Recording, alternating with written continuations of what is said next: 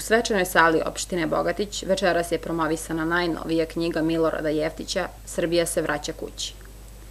Da drugi ratni roman oficira Vojske Srbije u penziji ugleda svetlost dana, pored izdavača Narodne biblioteke Janko Veselinović, pomogli su i Kulturno-obrazovni centar i opština Bogatić.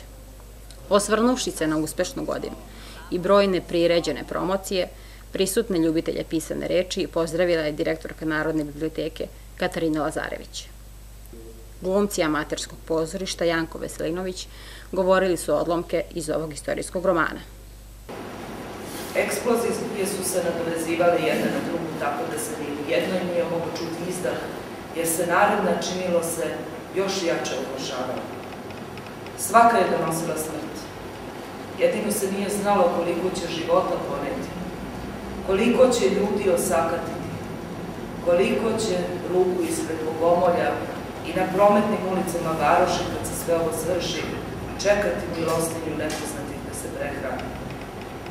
Kamenje i upaljeni komadi drveta od bugarskih zemunica leteli su na sve strane, drkoseći zakonima prirode.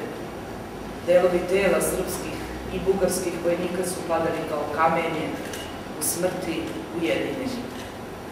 Drhtala je zemlja dok joj se utroba mešala sa šarpnerima i razletela na sve strane padajući i na one koji joj načeše utrobu ašovima i lopatama.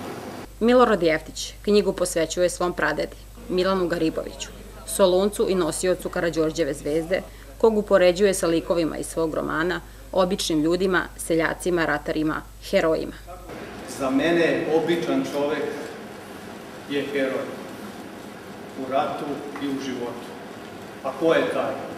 To je ratar, to je seljak, to je onaj koji nema zvučno ime i funkciju, činovnik, učitelj i vojnik, kad ga država pozove da je odbrani. Brani je dokle treba i koliko treba. A posle, kad se završi sve to, ako preživi, i puške se vrate u sanduke, u topovske šupe, postaje opet taj seljak, ratar, radnik sa alatom, učitelj, činovnik i sve opet do nekakvog sledećeg puta. A u suštini na kraju, što je najvažnije, dao Bog postaje domaćin svoje kuće sa onalikim ponosom, kao što je car nema na carskom prestolu, kako je pisao smedveno naš Jan. Za mene taj čovek nešto što je centralno mom izučavanju bilo kog se ovaj, segmenta dohvatim, da li rata, da li humora ili bilo čega drugog. Našim predsima, ja mislim da nemamo šta da zamerimo. Oni su bili divljunaci toga vremena, a kad bih pitali da li oni mogu nama nešto zameriti, mislim da bi mogu. Recenzent Ljubomir Ćorilić ukazao je na specifičan pristup književnika Jeftića, koji na literalan način prikazuje Srbe iz vremena Solonskog fronta, srpski pomor kao istorijsku činjenicu ispričan prepoznatljivim govorom Mačvanskog kraja. Moram da priznam da sam zaista uzbuđen, vrlo iskreno uzbuđen, jer sad vidim u stvari jedan neverovatan plod. 1995. meni se u redakciji radio televizije Potrinje pojavio, ja mislim tad kapetan Milorad Jeftić, poželevši da mu malo ja pregledam njegov rukopis i naravno da mu budem recenzent.